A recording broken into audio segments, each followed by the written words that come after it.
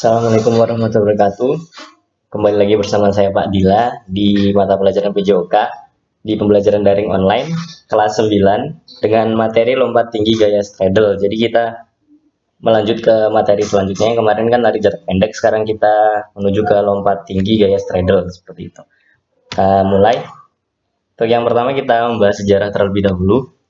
Sejarah itu ada di sini saya buat ada lima poin penting untuk yang pertama itu pada abad ke-19, untuk pertama kalinya lompat tinggi itu diadakan di Skotlandia, masuk pertama kali pada abad ke-19 dan pada saat itu lompatan tertinggi itu dengan ketinggian ini 1,68 meter dengan gaya lompatan gunting seperti itu. Jadi di Olimpiade pertama sudah ada yang bisa melompat setinggi itu. Selanjutnya pada tahun 1895 Michael Sweeney di sini berhasil melakukan lompatan setinggi 1,97 meter dengan gaya Eastern cut off. Jadi ada gaya baru lagi. Yang pertama tadi kan gaya gunting, sekarang ada gaya Eastern cut off seperti yang di yang dibuat oleh Michael Sweeney seperti itu. Lanjut pada tahun 1912 di sini George Horin dengan teknik terbarunya yang lebih efisien dengan nama Western Roll itu berhasil melompat setinggi 2,1 meter pada tahun 1912. Jadi dari tahun ke tahun ada gaya baru yang diciptakan oleh atlet-atlet ini. Selanjutnya pada tahun 1956, di sini Charles Dumas merintis teknik straddle dan berhasil mencapai ketinggian 2,13 meter.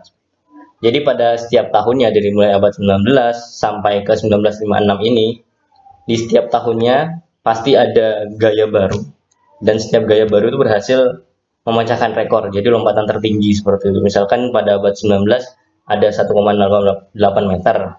Yang 1895 di sini ada 1,97 meter. Yang tahun 1912 2,01 meter. Yang tahun 1996 ini dengan gaya straddle itu ketinggiannya 2,13 meter. Jadi setiap tahun itu meningkat dengan gaya baru juga seperti itu. Lanjut pada tahun 1912 dan 1950 nah di sini 1912 ini berdirinya IAAF yang induk organisasi internasional untuk atletik di Stockholm, Swedia dan untuk di Indonesia itu PASI Persatuan Atletik Seluruh Indonesia lahirnya pada tahun 1950 di kota Semarang, Indonesia. Jadi sudah ada induk organisasinya untuk wadahnya dari atletik ini sendiri. Lanjut. Nah, di sini kita ke definisi dulu untuk lompat tinggi. Menurut Suherman, lompat tinggi merupakan salah satu cabang olahraga atletik yang akan menguji keterampilan melompat dengan melewati tiang mistar. Jadi melompat ada tiang harus dilewati seperti itu. Definisi simpelnya seperti itu lompat tinggi. Kita lanjut. Nah, di sini di lompat tinggi ini ada empat macam gaya yang ada. Yang pertama ini gaya straddle yang akan kita bahas lebih detail lagi nanti. Untuk yang kedua di sini gaya western roll. Yang ketiga di sini gaya skisar atau gunting. Kalau western roll ini gaya gaya guling. Kalau gaya skisar gaya gunting. Yang ketiga gaya Fosbury Fosbury flop.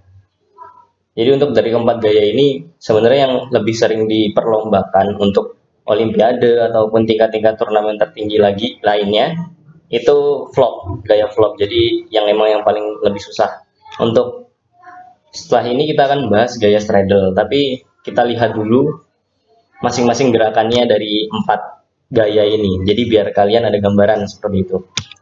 Untuk yang pertama di sini gaya straddle. Nah, seperti ini gambarannya. Jadi untuk gaya straddle itu lebih simpelnya jadi biar kalian ada gambaran seperti apa gaya straddle. Lanjut ya. Kita masuk ke gaya western roll seperti ini hampir sama sebenarnya. Cuma ini mendarat dengan kaki. Kalau gaya straddle tadi menggunakan punggung. Oke lanjut. Nah di sini gaya gunting. Itu lompatannya gaya gunting. Oke kita lanjut. Di sini gaya vlog. Nah ini lompatan yang susah untuk sebagian orang awam jadi membelakangi mistar seperti itu itu gaya vlog kita lanjut nah di sini kita masuk ke peraturan lompat tinggi yang pertama itu setiap atlet diharuskan untuk sebisa mungkin melewati mistar tanpa menjatuhkannya hingga mencapai batas tertinggi. Jadi untuk setiap atlet itu akan ada ketinggian tertentu. Setiap masing-masing atlet itu harus melewati ketinggian itu.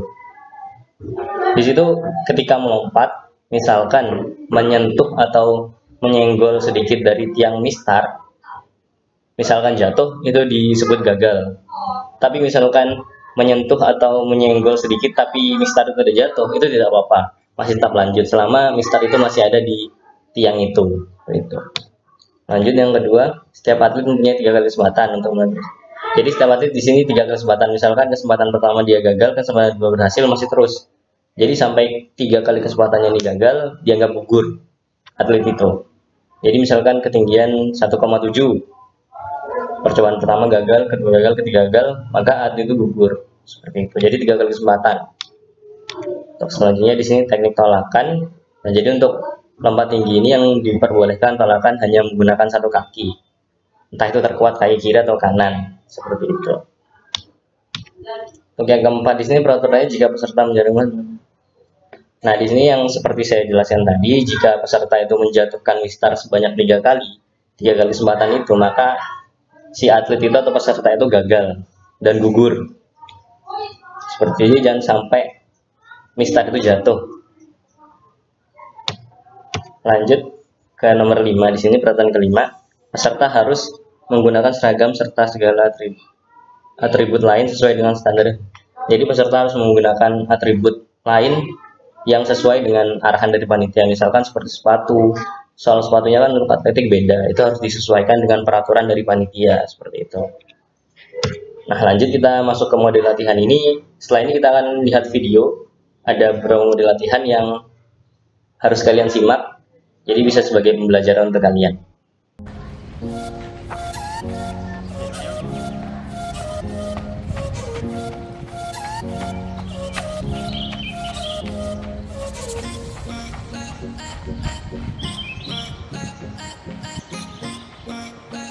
Uh.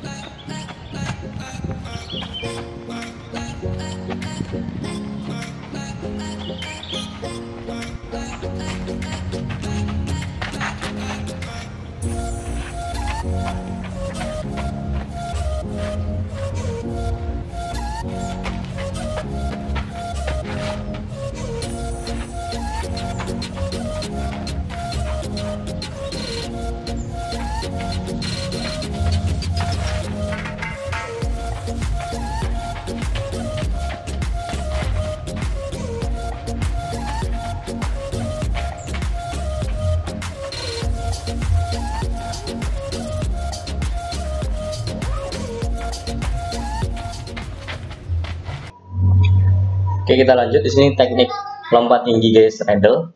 Jadi untuk teknik sendiri ini ada empat, ada empat bagian dibagi beberapa fase. Yang pertama teknik awalan. Jadi ketika berlari seperti itu. Yang kedua teknik tolakan. Yang ketiga di sini teknik ketika di atas mistar badan badan di atas mistar. Yang keempat di sini teknik mendarat. Nah untuk yang ini kita khususkan ke straddle ya karena materi kita emang teknik lompat tinggi gaya straddle. Jadi setelah ini akan ada video mengenai penjelasannya lebih detail lewat video tentang teknik awalan, tolakan, di atas besar dan mendarat. Seperti itu. Mohon untuk anak-anak disimak dengan baik.